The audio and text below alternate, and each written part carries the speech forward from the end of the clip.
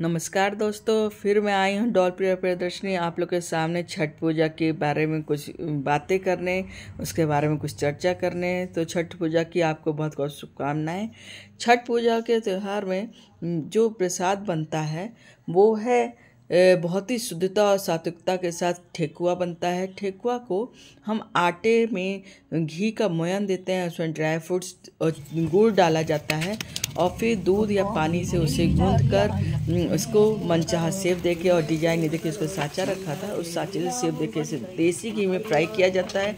जो अर्घ दिया जाता है, उसे देसी घी में बना के अर्घ से ही बना हुआ प्रसाद का अर्घ दिया जाता है। और साथ में होते हैं नए फल, नए सब्ज़ियाँ, जो गाजर, मूली होता है, शकरकंदी, ये सब इस सीज़न में, ठंड के महीने में, नवंबर महीने में बहुत ही नया सब फल होते हैं।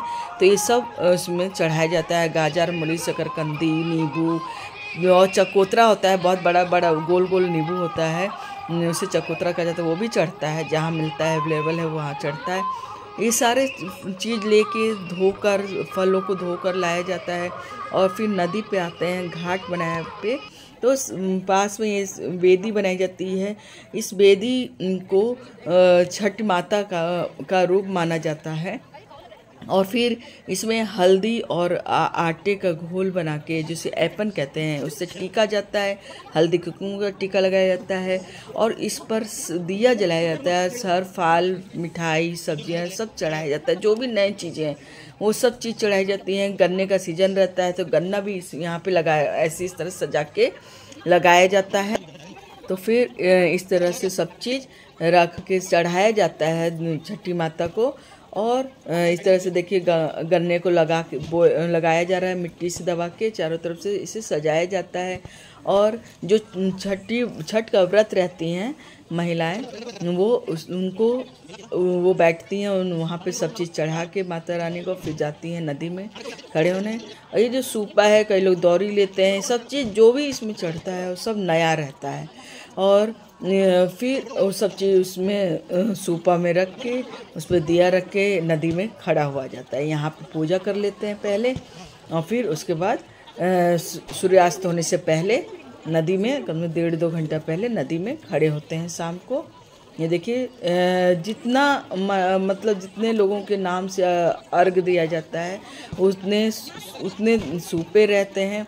ये यहाँ पे दो सूपा माना था मेरी सास ने तो वो दो सूपा में अर्घ देंगी, दो अर्घ देंगे कहा जाता है उसे। और पहले, उससे पहले नदी में, गंगा नदी के क्योंकि कार्तिक महीना है, ज़रूर दिया जल, जलाना चाहिए। तो यहाँ पे मैं दिया जला के आ रही हूँ, और सूर्य, देखिए सूर्य, अब सूर्यास्त होने वाला है। उसके पहले सब नदी में जाएँगे, ये सब प्रसाद लेकर। बहुत से लोग नए वस्त्र भी चढ़ाते हैं। नए फल, मिठाई सब कुछ है इसमें। चना ज़रूर इसमें चढ़ाया जाता है। काला चना, वो भी नया सीज़न का होता है। इस तरह से वो सब चीज़ चढ़ा के। और अब हम लोग जा रहे हैं नदी पे। यहाँ पे भी दिया वगैरह जला दिया गया है।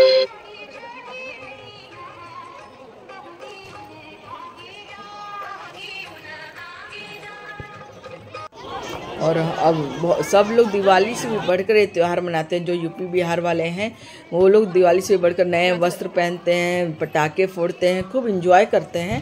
और देखिए, अब सब लोग यहाँ पर नदी में आ गए हैं, सूर्यास्त होने वाला है सूर्यदेव को नमन कर रहे हैं। ये सब चीज़ नए फल, नए चीज़ दे के उनको प्रणाम करते हैं, इस तरह से। और ये सब फिर जो व्रती होती हैं, उनको भी इस तरह से सिंदूर का टीका लगाया जाता है और वो भी हमें लगाती हैं और दूसरी महिलाओं को और उनका चरण ज़रूर छूना चाहिए। अब शाम का ये पूजा हो गया है और जो लोग कोसी भरते हैं, वो मन्नत से वो कोसी माना जाता है। ये देखिए यहाँ पे घाट पे ही इस तरह से पाँव छूते हैं, बड़, जो व्रत रहते हैं, उनका पाँव छुआ जाता है। बहुत ही पावन और शुद्धता और सात्विकता का ये व्रत है। तो यहाँ पे सब लोग शुद्धता के साथ और सात्विकता के साथ यहाँ पे सब लोग पूजा किए हैं और अब फोटोबाजी हो रही है और वीडियोग्राफी हो रही है। और जो लोग कोसी मानते हैं, वो लोग घर में फिर गन्ने से पूरा सात आठ गन्ने से उसमें पोटली में देसी घी का बना प्रसाद और सारे फल मिठाई बाँध के उसी गन्ने के ऊपर लटका देते हैं। और उन, उन उसको टीका जाता है माला पहनाया जाता है गन्ने को और उसके नीचे कलश रखा जाता है और कलश में चारों तरफ़ दिए रहते हैं और उसे रात भर इसी तरह रखा जाता है। वहाँ भजन कीर्तन आरती होती रहती है।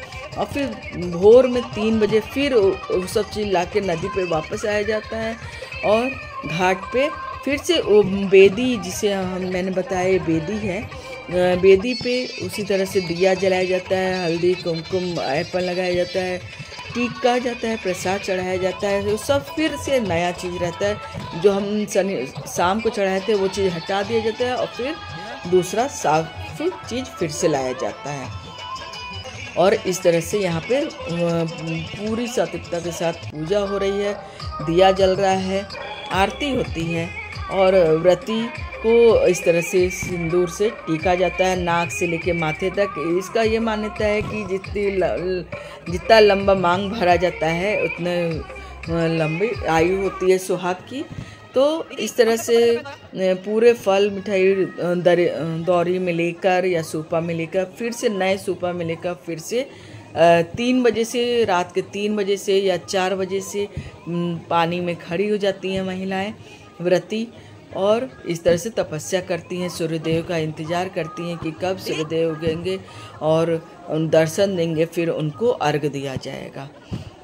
देखिए, सारी महिलाएँ इस तरह से खड़ी हैं, सज धज के, नए वस्त्र पहन के, इसमें जो भी जो व्रती होती हैं, पूरे एकदम नया वस्त्र पहनती हैं, पुराना कुछ भी नहीं पहनती हैं, सब कुछ नया पहनती हैं और फिर इस तरह से इसका पूजा करती हैं। चार दिन का व्रत होता है जो कि नहाए खाए से लेके चौथे दिन अर्घ देने तक समाप्त तो होता है। इस तरह से देखिए, अब अर्घ दिया जा रहा है, दूध से अर्घ दिया जा रहा है सुबह के समय में। सारे, मैं भी दे रही हूँ अर्घ, और ये अर्घ देने के बाद मेरी बेटी भी देगी, मेरे हस्बैंड देंगे, सभी लोग दे रहे हैं यहाँ पे। और जितनी महिलाएँ होती हैं फिर जो अर्घ देने के बाद ये पूजा लगभग समाप्त है अब व्रत समाप्त है और उस व्रत के बाद ये अर्घ देने के बाद बेदी के पास जाएँगे वहाँ पे आरती उतारेंगे सूर्यदेव को दिया दिखाएँगे आरती उतारेंगे और फिर लोग हर जगह जाके लोगों का चरण स्पर्श करके महिलाओं का वे जो व्रती होती हैं उनको चरण स्पर्श करके उनसे अपना आंचल आगे कर करके मांगते हैं प्रसाद। मांग मांग के खाया जाता है यहाँ घाट पर। जितना प्रसाद मांगा जाता है, उतना पुण्य का, पुण्य माना जाता है उसको। देखिए, इस तरह से सब लोग पानी में खड़े हैं। अब इस तरह से व्रत पूरा होता है और व्रत करके अपने अपने घर जाते हैं।